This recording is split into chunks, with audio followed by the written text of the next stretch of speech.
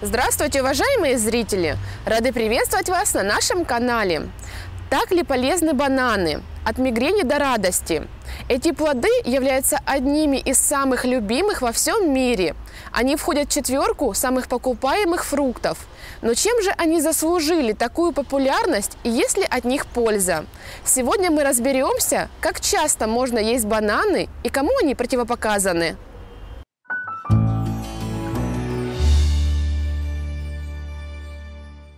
Бананы являются ценным источником калия. Этот элемент необходим для правильного функционирования клеток. Калий высвобождает инсулин для нормализации уровня сахара и контролирует давление. По данным исследованиям, недостаток калия повышает риск преждевременной смерти. Добавляя в свой рацион бананы, вы снизите риск возникновения смертельно опасных заболеваний на 20%.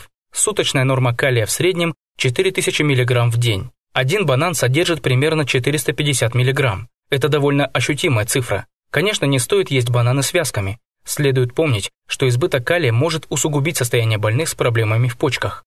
Бананы повышают выносливость. На протяжении многих лет спортсмены для поддержания восстановления сил после физических нагрузок употребляли углеводы. Они питают мышцы и снижают физиологический стресс после напряженных тренировок. Самым быстро усваиваемым углеводом является сахар, поэтому его добавляют во многие спортивные напитки. Однако в первом десятилетии 21 века ученые задумались об альтернативе сахару в виде фруктов. Это более здоровые продукты, прекрасно восполняющие силу и энергию во время активных тренировок. Исследования показали, что велосипедисты чувствуют себя гораздо лучше в период занятий и после соревнований, если съедают половину банана каждые полчаса во время заезда. Однако стоит иметь в виду, что такой способ может вызвать вздутие живота.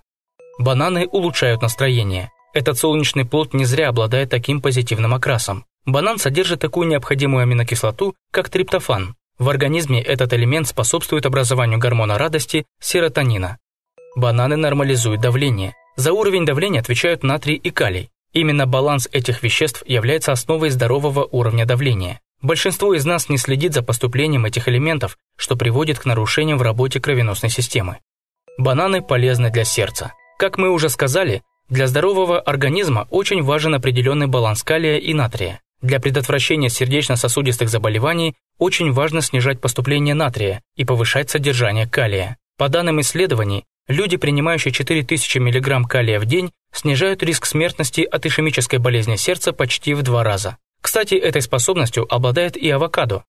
Бананы улучшают здоровье кишечника. Специалисты советуют людям с расстройством пищеварения использовать такую диету – бананы, яблочное пюре, рис и тосты. Бананы легко усваиваются организмом и заменяют недостаток электролитов, который происходит во время нарушения работы желудочно-кишечного тракта. А мягкая клетчатка, содержащаяся в бананах, деликатно чистит желудок, не повреждая его стенки. Бананы вызывают головную боль. Существует предположение, что бананы могут способствовать приступам мигрени у восприимчивых людей. В таких случаях следует ограничиться употреблением половины плода в день. Также существует индивидуальная непереносимость бананов. Она может проявляться в виде кожной сыпи, зуда и даже отеков.